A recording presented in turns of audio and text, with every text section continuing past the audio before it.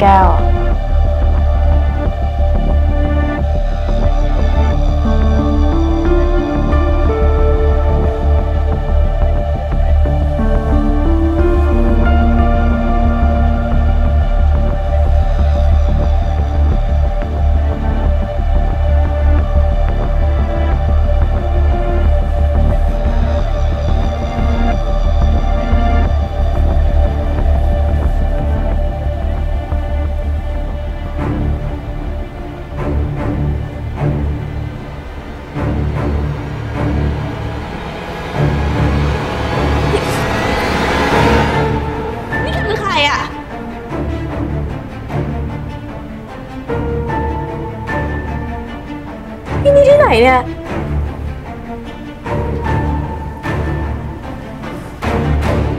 อจำอะไรไม่ได้จริง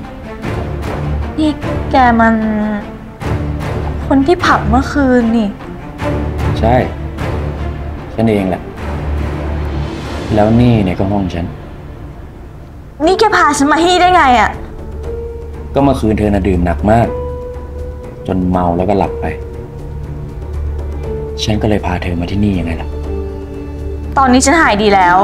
ฉันจะกลับ จะไปไหนเธอคิดว่าฉันอุตส่าห์เสียเวลาพาเธอมาที่นี่แล้วเนี่ยจะยอมปล่อยเธอกลับบ้านไปง่ายๆเหรอคุณปล่อยฉันไปเถอะนะ ฉันขอร้อง ฉันสัญญาว่าถ้าคุณยอมปล่อยฉันไปอะ ฉันจะไม่เอานี้ไปบอกใครเด็ดขาด ได้สิ แต่ต้องหลังจากที่เธอเป็นเมียฉันแล้วนะ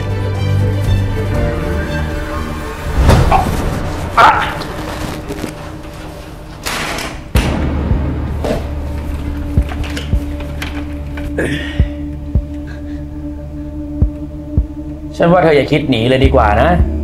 เพราะว่ายังไงก็ไม่รอด คุณปล่อยฉันไปเถอะ ฉันขอร้องอะนะ ถ้าคุณอยากได้อะไรอะฉันให้คุณหมดเลย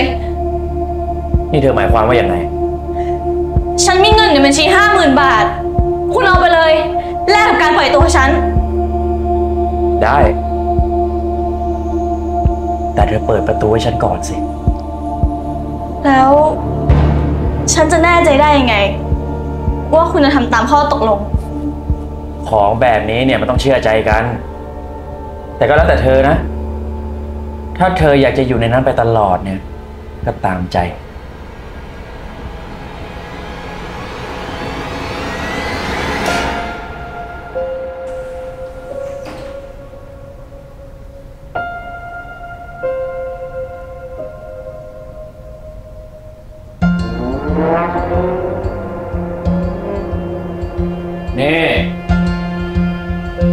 ออยู่ไหนอะ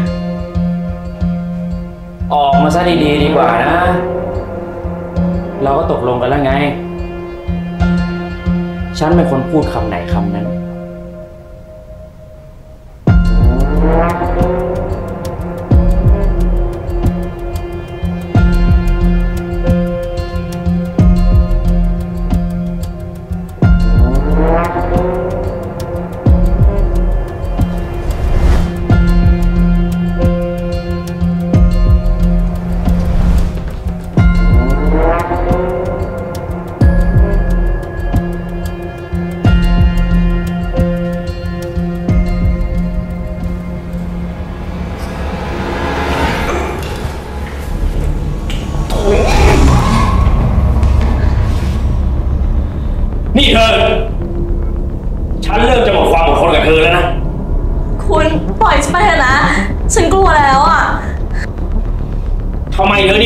พูดยากพูดเย็นจังเลยฮะฉันไม่ได้รังเกียจมากนะยังไงครับเปล่าค่ะ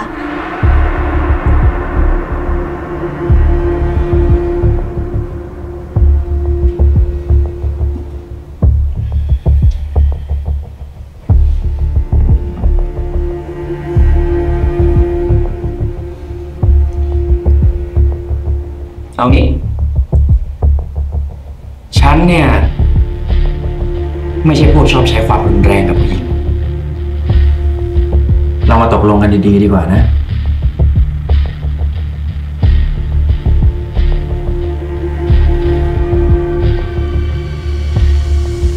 พอดีตอนนี้เนี่ยฉันทะเลาะกับเมีย แล้วเขาก็หนีฉันไปต่างประเทศ อีกตั้งหลายวันกว่าจะกลับ ถ้าในระหว่างนี้เนี่ย เธอมาทำหน้าที่แทนเมียฉัน ฉันสัญญานะ ว่าถ้าเขากลับมาเนี่ยฉันจะยอมปล่อยเธอไป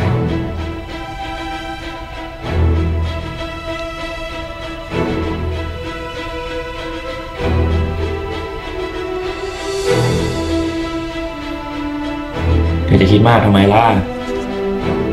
มีอะไรกับฉันเนี่ย ไม่เห็นจะน่าเสียหายตรงไหนเลย และอีกอย่าง ยยังไงวันนี้เธอก็หนีไปไหนไม่รอดอยู่แล้ว แล้ว ฉันจะได้อะไรเป็นค่าตอบแทนบ้างล่ะคะ เธอหมายถึงเรื่องเงินน่ะเหรอ ค่ะ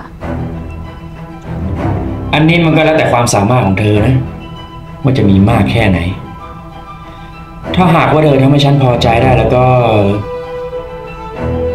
ฉันสัญญานะ ว่าฉันจะมีรางวัลให้เธออย่างแน่นอน งั้นก็ได้ค่ะ เธอพร้อมแล้วใช่ไหม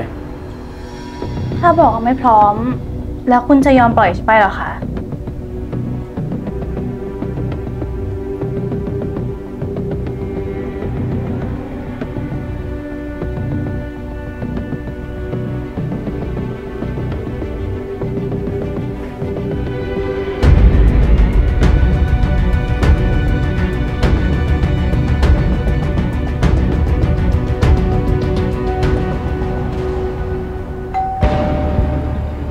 แม่งเอ้ย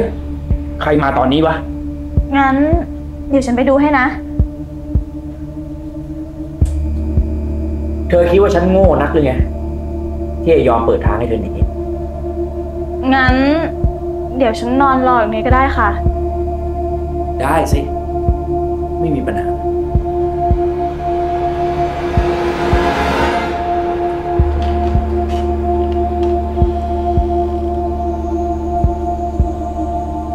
สวัสดีครับ ไม่ทราบมีอะไรหรือเปล่า พอดีมีคนโทรมาแจ้งว่า ได้ยินเสียงเหมือนคนทะเลาะกันเสียงดังมาจากห้องของคุณ ไม่ทราบว่ามีอะไรหรือเปล่าครับ ก็ไม่มีอะไรนี่ครับ สงสัยผมคงจะเปิดทีวีเสียงดังไปหน่อยนะแล้วนี่คุณอยู่คนเดียวเหรอครับ เปล่าครับผมอยู่กับภรรยา ถ้างั้น ผมขอคุยกับภรรยาของคุณหน่อยได้ไหมครับ เกรงว่าจะไม่สะดวกนะครับ พอดีเธอเข้าห้องน้ำอยู่ ถ้างั้นเพื่อความสบายใจ ผมขอเข้าไปตรวจหน่อยได้ไหมครับ ได้สิครับ แต่คุณตำรวจมีหมายค้นมาใช่ไหมครับ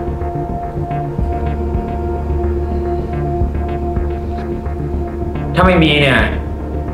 ผมขอตัวกลับไปพักผ่อนต่อก่อนนะครับ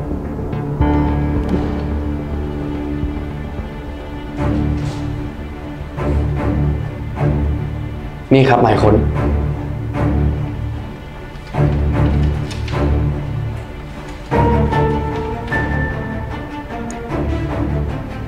ทีนี้ผมเข้าไปได้แล้วใช่ไหมครับ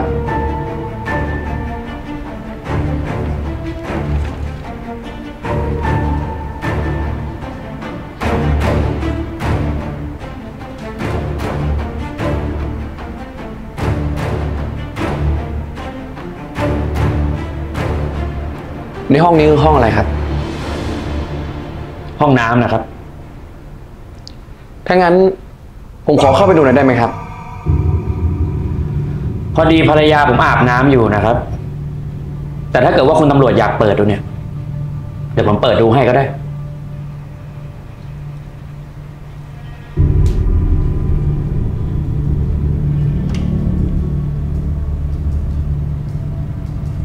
ไม่เป็นไรดีกว่าครับ งั้นถ้าไม่มีอะไรแล้ว ผมขอตัวก่อนนะครับ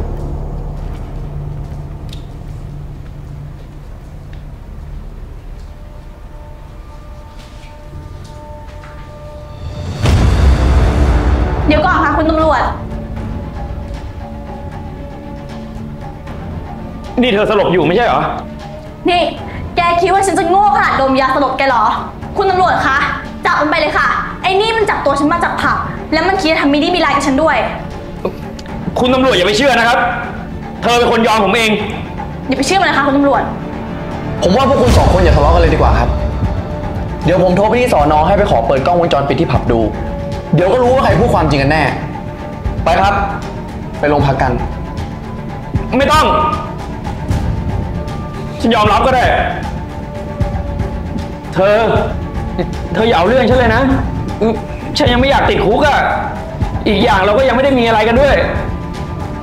ก็ได้ แต่แกต้องชดใช้ค่าเสียหายฉัน ถ้าไม่อย่างนั้น ฉันจะเอาเรื่องแกถึงที่สุด แล้วเธอจะเอาเท่าไหร่อะห้าแสนเงินสดไม่โอนฮะห้าแสนทำไม จะไม่ยอมจ่ายเหรอ งั้นก็เชิญไปนอนในคุกแล้วกัน คุณตำรวจคะ จับไปเลยค่ะ เออฉันยอมจ่ายก็ได้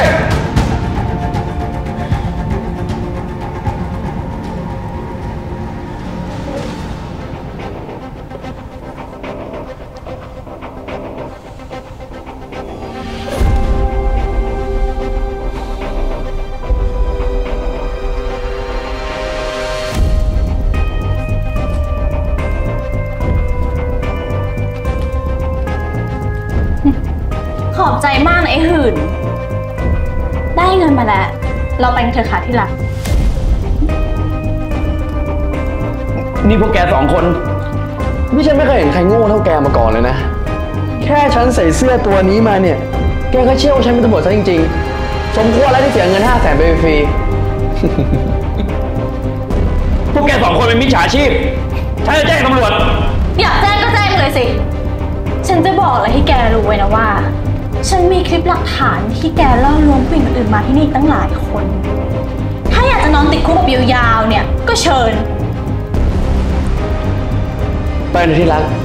เราไปใช้เงินห้าแสนกันดีกว่า